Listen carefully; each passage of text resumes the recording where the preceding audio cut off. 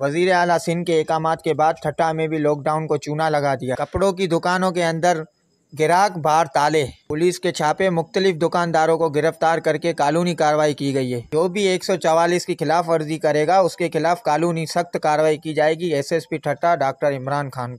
Media reporter Abdul Hafeez नोडियो Pak Asia TV, जिला ठट्टा।